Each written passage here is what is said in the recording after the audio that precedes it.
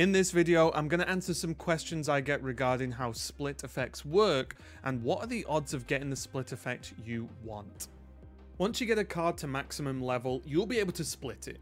This means you gain a brand new copy of that card, but it will have an additional cosmetic effect. The first time you split a card, it will have either the foil background or the prism background, as they're the only options that you can have on split 1.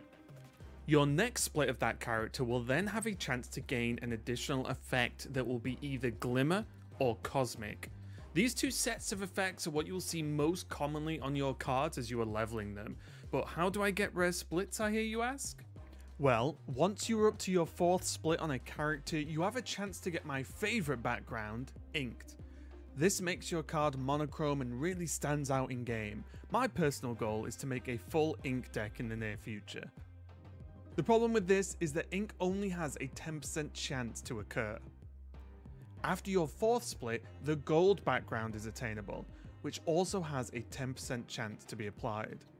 This means once you have split a character 4 times, you have a 40% chance for a foil, 40% chance for prism, 10% for gold, and 10% for ink. The effects work in a similar way but with slightly different percentages.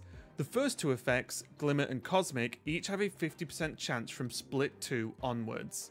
Then you have Sparkle, which like Ink, can occur from Split 4 onwards, but unlike Ink, it has a 33% chance and pushes the others to 33% also.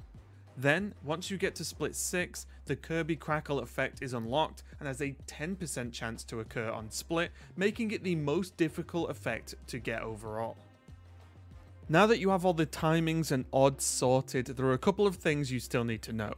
First, you cannot get the same combination of effect and background on the same card.